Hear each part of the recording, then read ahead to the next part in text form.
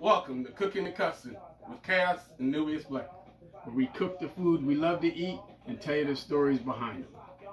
So, what's on the menu today? Today is something that I seen on television. I wanted to change it up a bit. They were using wild meat, like some kind of rabbit. I believe it was rabbit, and I figured I'll try it with a pork loin. But it's basically uh, a baked seasoned pork loin on top of a bed of rice with a honey, onion, carrot, tomato glaze on top. So that's what we got on deck, and then what we have for the drink. Well, I'll dig into my bag of tricks and come up with something. All But we'll see what it is when we get there. let's do it. Well, first of all, we're gonna show you what we got here. We got a nice half of pork loin here. With, you know, it, it was already trimmed at the store. You can buy this at any store. Uh, you don't want to take too much fat off of there because then it gets dry. So we're gonna season this bad boy up before we put it in a iron skillet and put it in the oven at 375. But first, we gotta prep some stuff. We're gonna prep some little heirloom tomatoes, which I started already before we went on. And also, as we say, the flat fat was where the flavor is. That's right. And if that's the case, we're the two most flavorful fuckers out here. So we got some nice yellow ones, old school orange and red tomatoes. Cut. We're just gonna half these because the acid in the, the tomatoes will help cut down the sweetness of the The honey. of the honey. So we got that. We already got the julienne carrots. They were using thick cut carrots on what they, when I seen them do it, but I figured I'd switch it up again because I not to mention I had these carrots. So use what you can have at home, so you don't go out there and lose your mind over some shit you don't really don't need to do. So we got the carrots, we got the onions. I got a few more onions to cut. I don't know any of those fancy fucking cutting techniques. I just cut it. I figure if I can get away from not having starting with five fingers and ending with five fingers, I think I done did some shit. So, And that's all I'm saying. As long as you get, end up with all your fingers and, no cuts, so we got cutting onions good enough. onions, carrots, tomatoes, Hey, instead of having a julienne, you better just have baby carrots and slice them in half. Right. And, and now we're gonna season. This it's very simple. Again, we don't sit there and try to make things too fancy because everything we got here you can buy at any store. So we're gonna first season this bad boy up with some black pepper.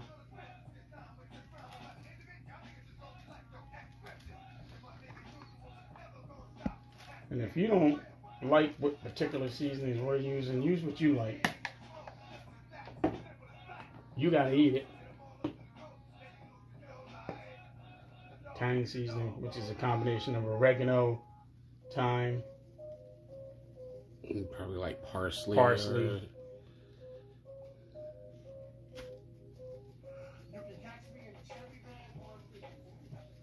liberal. I don't got no measuring. I just go for what I see. Nowadays, seeing is not exactly my strong point, but we're gonna get through this. Now, this is a season I like rosemary, but I particularly like it on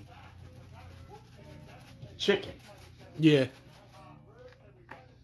I mean, you can take a regular whole home chicken, and if you put some rosemary inside that bad boy before you roast them and put some on the outside with a little sea salt, you might get something there. Rose, it's amazing. I, these are like seasonings. You know, we grew up with our parents use salt and pepper. That's it, Yep. if that. So I try to get it all.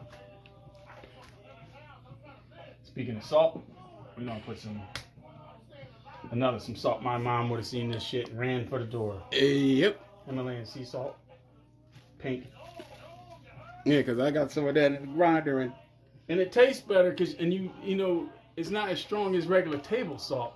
Regular table saw, I can't even really tolerate that, that much anymore. They're my all-time 'cause I believe it's the iodine. Right, right, right. That they put in it, Yeah. So, uh, and then we got we get some smoky flavor, some paprika, some, some, some paprika. which I didn't realize. Just like salt, how many versions of that? Oh, yeah. There is out there. There's the smoked and all that.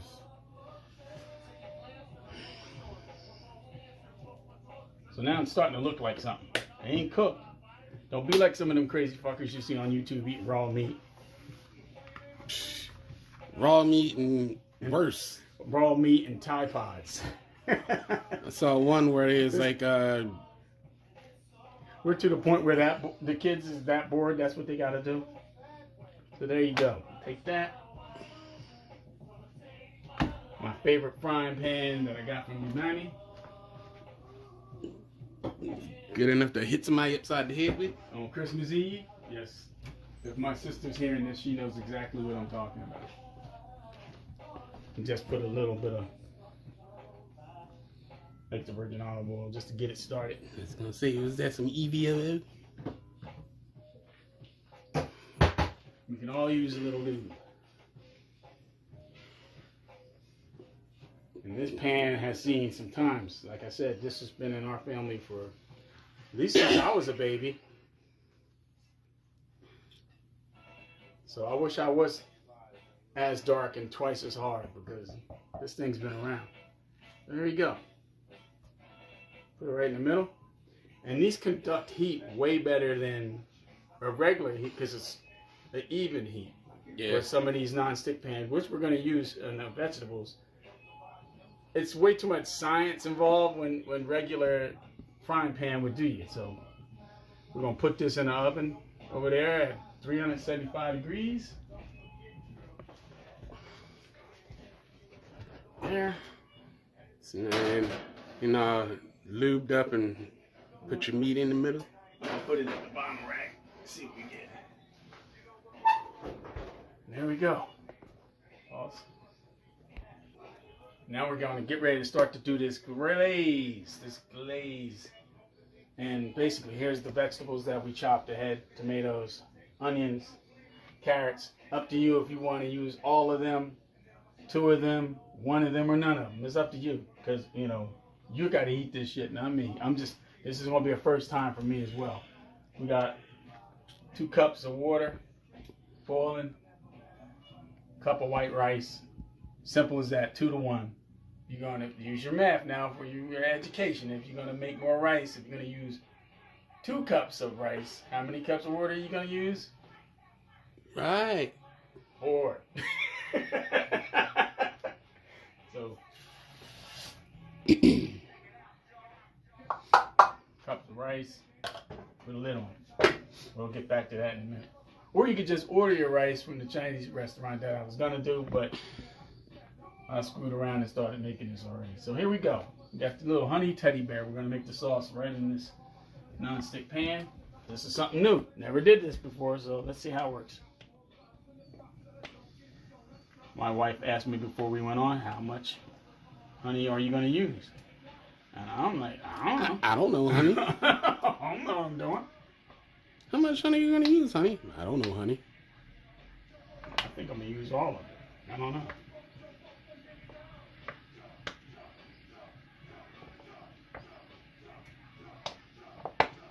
Yeah, this is it's already bubbling. And they say what, what you're basically doing, and I never thought about it until I told Terry that you know they were making a caramel out of honey. Yeah, it's And when you think about it, you go, wow, that's pretty uh, obvious. You know, you never really thought, I'm going to use this whole thing. What do you think? If you're gonna do that, it'd probably be better just to take off the whole, take off the You, you take this lid off. if you're using all of it. But yeah, but uh, I can't get the squeezing. All right, just let it fall out.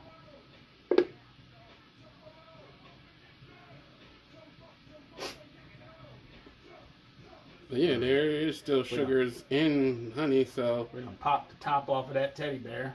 His ass is done. There. And what you see in there boiling is just what little water content that was in this. So we're just gonna give it a stir. And it's thin. So we're gonna just keep stirring it till it starts to thicken up a Thicken little up. But we don't want it too thick because we wanted it to be a sauce. If we make it too thick, we probably have to add water to it. yeah, yeah, we're just boiling the water off. Right, then you're just boiling the water off what we're doing now. All right. So hand me the onions. All right, we're gonna put these onions in here, which is weird. I was like, eh, onions and honey? That just weird. But but then also at the same time, I seem to remember as a kid a while ago. Well, decades ago, yeah, a while ago. that uh, for for some home remedy, uh, I think it was a relative. She did honey, onions, and I think like lemon. Well, Then they say, we're gonna use that same remedy as a sauce. here, here, here, here, drink this and you'll feel better. I'm like, um, I don't know about the honey. Hey, the honey and lemon, okay. I don't know where they coming in with the, Tomatoes. the onions. They ain't put tomatoes in your remedy, did they? No. Now that's that's the remedy. Now is tomatoes and vodka. Uh, you can give me that my sans the tomatoes. So basically, all we're doing is just adding this stuff to this sauce. It's hot enough because we're gonna have to put a lid on it so it uses the steam. To cook and yeah, to caramelize. cook and caramelize everything. So right now we don't have to really season anything because most of the seasoning is on the meat. And then we'll put some curds. So it's a lot of sweet onions, sweet carrots, and tomatoes. A lot of sweet. And the only asset we have in here so far is uh, from the tomatoes. So give me a sh- little half shot of lemon juice. Half shot, that's later. Yeah, that's a full shot. Full couple cup. shots. Shit.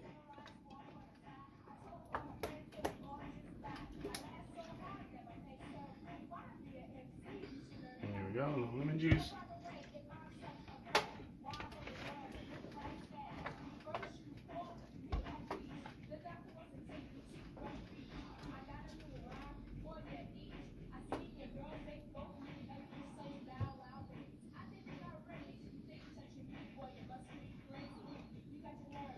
The rice going. So now once your rice gets boiling, turn the heat down.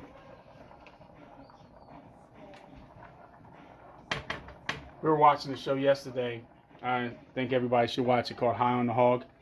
It's on uh, Netflix. Talks about all the influences African Americans have on cooking throughout this country. And you're going to learn some shit because there's some shit I didn't even know, you know, about this I don't know if he was infamous or famous. His name was Hercules. He was a slave, and he was the head cook for George Washington. And he was such a great cook that he traveled everywhere Washington went to cook Washington's meals. And then when Washington came to Pennsylvania for an extended amount of time before his house got built in Mount Vernon, he brought Hercules with him. Washington ever the racist that you know nobody likes to talk about. Pennsylvania was a free state, so Hercules could have just walked off and left. Yep. So to stop him from doing that, he had to actually keep sending him back, Hercules back to Mount Vernon. And then after a while, he says, "Okay, I'll give you your freedom." This is how fucked up the founding fathers were. I'll give you your freedom if you teach somebody else to cook like you. And that person I want you to teach is your brother. So, to gain his freedom, he had to enslave his brother. How screwed up is that? Crazy, right? I ain't screwed up. That's America. Which You're absolutely right. And then there was another guy. His name. What was the other guy's name that start with an H? You remember? was it first name or last name? Uh, he only had one name, but he was Jefferson's um, cook. You know, Jefferson loved slaves so much he kept making babies with them. Mm-hmm. But he's the guy that the food you like to eat to this day, we've been eating forever. Black, white, brown, yellow, doesn't matter. Everybody likes macaroni and cheese. He invented it. It was called macaroni pie because it was baked. Not that shit you boil on a stove like we're doing here in the blue box. He made that old school baked macaroni and cheese that they called macaroni pie. And that's one of the many meals that he invented. Hemings. Yes. because it was H and H, Hercules and Hemmings. And these guys, to this day, don't get the credit that they deserve. I'm glad that they did the show, so it really shined a light on them that even I knew little about. I knew about Hercules.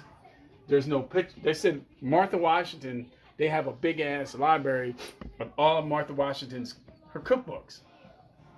They're now saying Martha Washington ain't write none of this shit. She didn't invent any of it. Hercules did. Because her, why would she have a cookbook if she didn't cook? Exactly. You know what I mean? So watch it. High on the hog. And that saying comes from eating so much pork, you get the sweats. That's called being high on the hog. I never knew that. So when you're living high on the hog, that means you, you're good and high from the meat sweats. So there, we're going to put a lid on there, kind of, sort of. Turn the heat down. And we're going to let this cook. And we're going to let the meat cook. And we're going to let the rice cook. And then we'll be right back with you ASAP. All right. I got my glove on, so don't make me snap my fingers to make sure this thing is done. We're going to check. It's hot. That's a plus. So we're to pull it out of here. We're to let it rest on the table and see what we got. Smells good.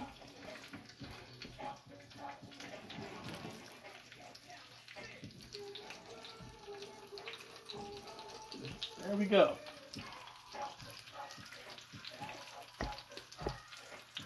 So that's a lot. That's olive oil and the fat rendered from the pork loin, and hopefully it is not going to be all dried out. So we're going to let this rest. We're going to go over here.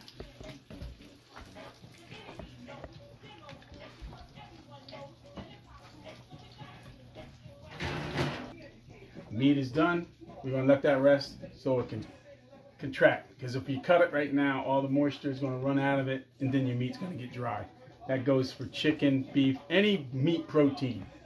Except for fish. I don't think fish you gotta let rest. Mm, Fish you don't even want to cook too long. No. That's gonna make it dry out. That's gonna make it when out. it comes to else- any like meat protein, chicken, fish, uh, pork, beef, any big bird, you gotta let it rest. I didn't know that shit until I started watching cooking shows and shit. Yeah, because yeah, because if you, as soon as you take that out and just go and cut it, there's all your, there's all the juiciness all the out of it. all gone. And everybody likes the juice. So with a snap of my finger, we're gonna be right over where chaos is at, and he's gonna be making our drink.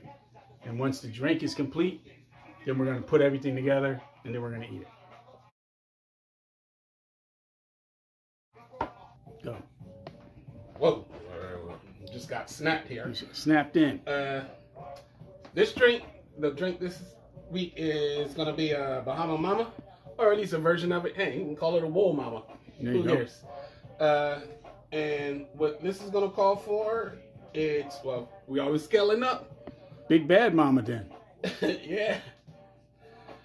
So it calls for one ounce. Again, Trenton Education. I'm gonna be multiplying it. So So if it's one ounce, we're gonna use what? Three? actually, just do a little bit more. If it's one ounce, Make it four. this one and a half. So I do two of these, so I get three. It's three of us, so yeah, good enough. We got one. Uh, by the way, it's a rum heavy drink. It's almost a tiki drink.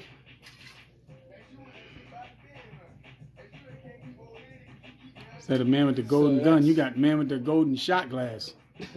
So that's your three ounces of your coconut rum.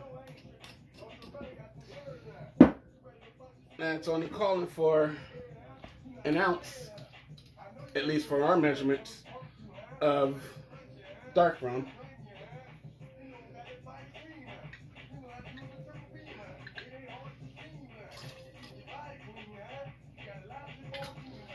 Then you got your last rum of just regular old white. Damn, that's a lot of rum. Every, all your drinks got a lot of rum in them. Well, Which I ain't complaining. I'm just saying. rum heavy or rum is more, more, more or less one of my uh, go-to favorite Liqueurs. liqueurs, alcohols. How much is that? This is uh this is gonna be three ounces. So so far, just with the alcohol, we have A shit ton of rum. seven ounces of rum. And that's done. And then the rest is all just juice. So you got supposed to be two. It'll be four ounces of orange juice. As soon as I can get this open.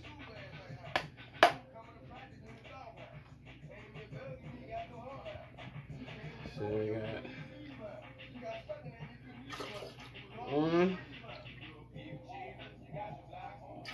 And that's just for vitamin C. Yeah. So we don't get scurvy. Three. And a pineapple juice, or I'm getting a little creative and trying to juice out of a tropical fruit. Cocktail. May even add a little bit of the fruit in afterwards. It's got pineapples in it, plus a little more.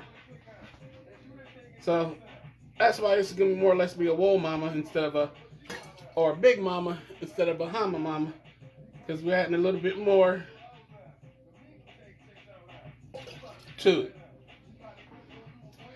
And the last thing we got Some skiz ice. needs the ice, which could have went in before, could have went, but either way, it's gonna be cold. Got some ice, and then splash of grenadine, just Red Geraldine. red Geraldine, just Damn. a little bit of a splash.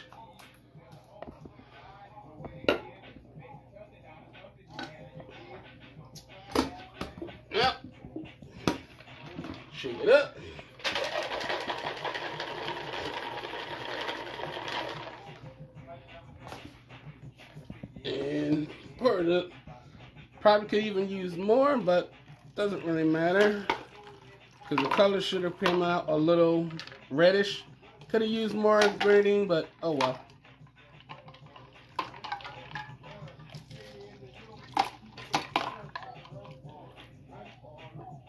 Uh, looks like uh, you got a little bit, and then just in case, if you want, never garnish, but hey, here, You can, I'll you garnish this in to time. make it look fancy. I'll garnish this time. Ooh, we gotta wear good, clothes. Eh, and it's, it's some fruits for you. Make it a little more healthy, right? And like I said, being that it's rum, it's almost pirate drink, and pirates always needed citrus to prevent scurvy. So the drinks are done. With the snap of the glove, we're gonna snap and we shall be putting the whole meal together. Maybe now, snap, snap, go. Here we are, back again. Got my nice fancy Infinity Gauntlet barbecue glove that my son bought me for Christmas. So I'm putting it to work. That way I can put my hand on this hot piece of meat. So, against the grain, You can use an electric knife if you want. I ain't thought pulling all that shit out.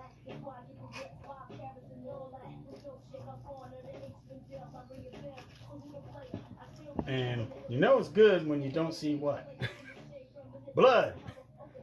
Either from the meat or from your finger. from your fingers. I don't even like a lot a bloody piece of uh, prime rib. That's just not my jam. A lot of people like it. I I'm not a fan. I like I like the prime rib medium well, yeah, so I'm gonna say me medium well. Give me medium and this well. is probably a good medium well right here. Yeah, It's not overcooked, because you can tell by the. If you can't tell by just looking at it, you can tell by the smell of it. So I'm gonna cut a little more. and yes. Then we're gonna go over and put this thing together and see what happens. Yeah, some people like to uh, knock the cow off, take a slice off, and throw it on a plate. Right, and Mm, just call it a wrap. that's not me. Alrighty, we're gonna go on to the other side and see what we got. Getting ready to put this bad boy together for the big throwdown. ice cream scooper. That works well. Right now it's a rice Um, it's a rice scooper. cream scooper. I'll put two in there.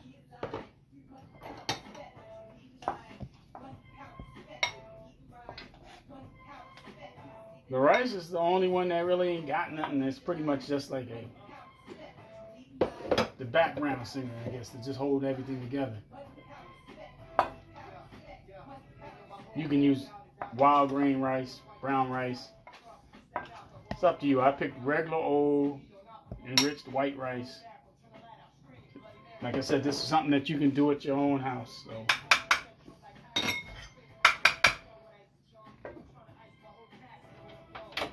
We got the rice.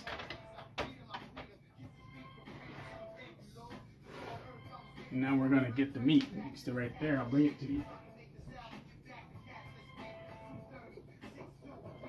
So we got the meat.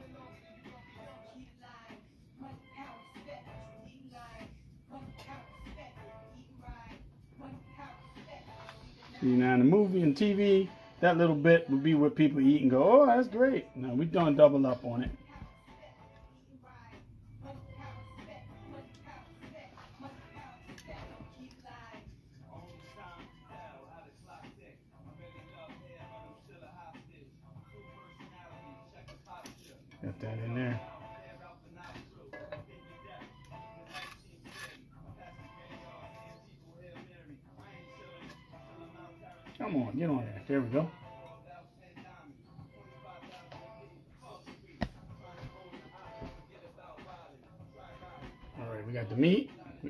Top of the rice. And now we're gonna get the sauce on there. Woo! So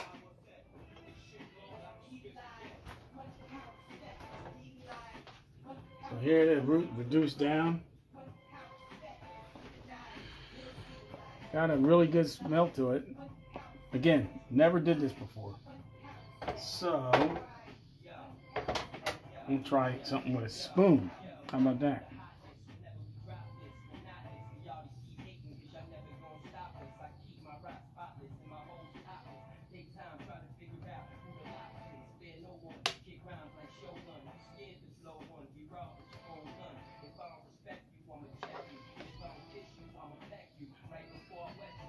There we go.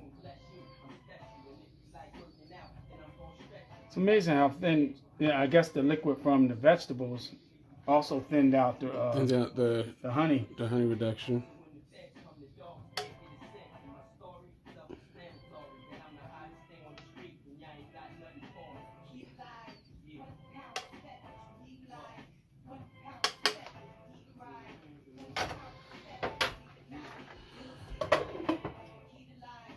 So that's pretty much it.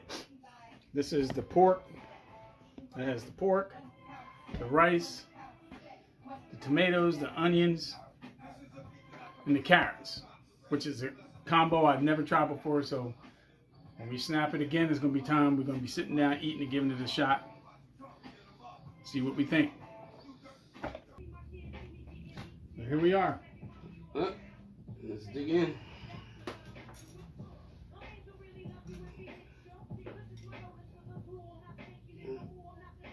Of course, the alcoholic in me went straight for the drink. Uh,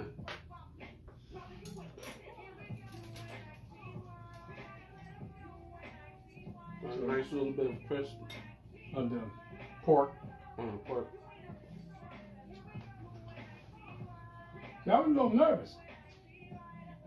But that worked out pretty good. Like the whole carrot thing is kind of like taking me out. But I like it. It turned out pretty good. It's almost like when you cook, and they're in the same family yams, sweet potatoes, rhubarb, Yeah. yucca, which I've never used before, which I'd like to try. So if any of you guys know anything about yucca, put it in the damn comments so we can try something out. But the meat, tender, vegetables done, not mushy. And the rice is soaking up everything. Yeah, rice is doing its job, taking on the flavor of everything in here. this has got to be one of the sweeter dishes we cook. Because pork is a sweet meat, Yeah. carrots are sweet, carrots. tomatoes are sweet, and we got sweet onions and And honey. You had the honey. Yeah, this is a diabetic's nightmare, by the way. But And the only thing that was sour was the lemon, lemon that you really ain't catching. and it it's just probably just being balanced out. The sweetness and actually help break down some of them uh, the vegetables as well. And you know, you picked a really good drink to make because that takes away some of the sweetness that's in the meal in the meal itself. I'm gonna put no salt on here. Yeah. Everything uh, that was seasoned Everything was before seasoned stayed in. didn't need to be seasoned after. So try a little bit of everything all at once if I can. But So yeah, it turned out. Again, I found out this recipe watching a cooking show last week and figured I'm gonna call chaos up we're just gonna do this impromptu. Even though I've been having issues with my vision, but we got around all that. So now I'm about to get bloodshot and drink. Here you go.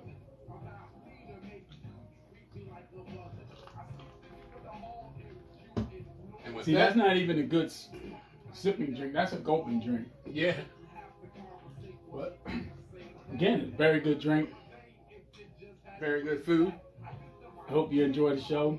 Check it out. Rate us five stars, thumbs up. Gives us comments on the blacklisted site on YouTube. Like, share, subscribe. All those good things. If not, fuck you. that's that's our cussing. We didn't have enough cussing in this goddamn episode. Yeah. But with that, Bon Afro Tea. We'll see you next time. And fade the black. Peace.